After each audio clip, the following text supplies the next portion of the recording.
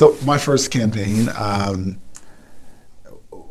my first campaign was it was delightful. This one,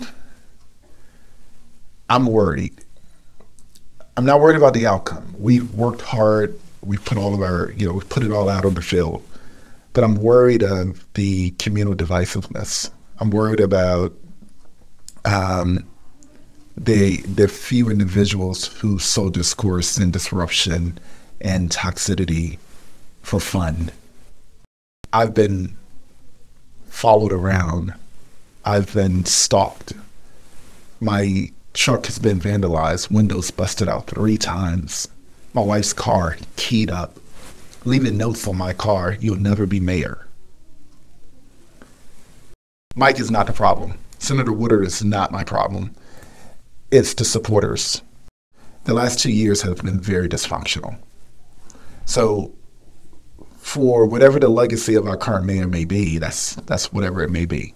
That's also not really my concern. My concern is getting Durham back to being a powerhouse economic center in the state. As I'm running the trail, uh, running for mayor, two things I hear often. I hear crime with our black boys, and I hear division on the council. How are you going to get this council back in order? That's what I hear most. After that, I hear, what are you going to do about crime and our young black boys? Because they are in trouble. And it's showing in school, it's showing in the streets, and it's showing on the news. One thing I can say for sure is you have to be willing to work with people. You have to be. That is a must. It is a mandate. You have to work with people. You can't be so caught up in your own views or your own way of thinking that you just you're immovable.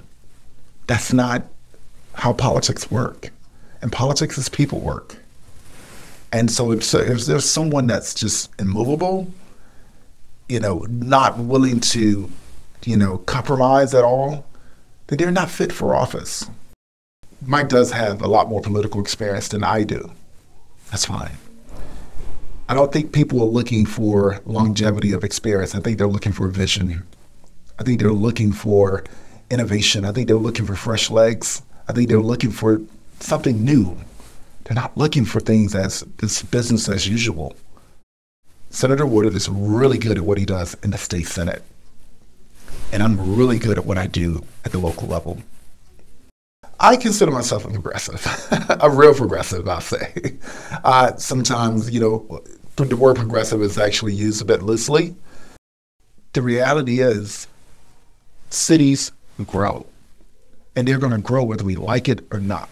We can leverage and be a part of this growth and lead it, or we can be victims of it. And so at the end of the day, I usually try to get more out of a project that we normally would not get. The record shows that. And I and I support it because I understand the bigger picture.